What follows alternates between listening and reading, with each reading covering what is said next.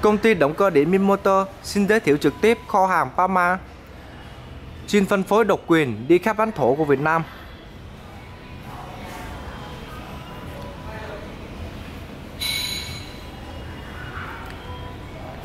Sau đây là cách để xem catalog của sản phẩm.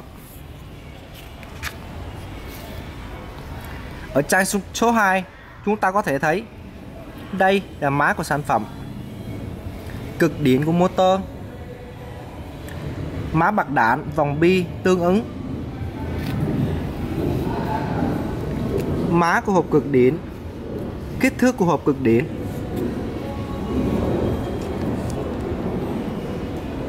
Sau đây là motor 3 kW 4 ngựa 4 HP Tốc độ motor là 1400 vòng trên phút.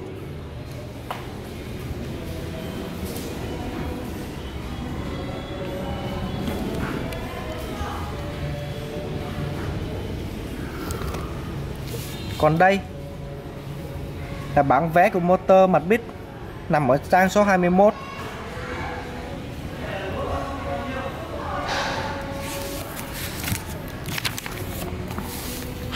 và bản vé của motor chân đế nằm ở trang số 20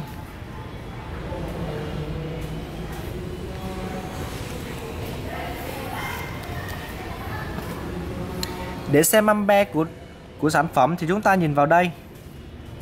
Với motor 3 kW thì chúng ta nhìn vào cột điện áp 380V gióng xuống.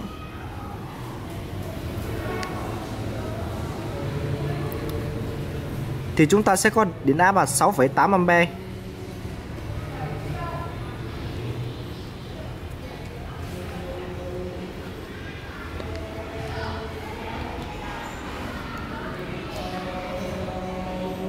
Ngoài ra, quý khách có thể lựa chọn hàng vạn mẫu motor khác từ siêu thị động cơ đến 3 pha lớn nhất Việt Nam của công ty chúng tôi.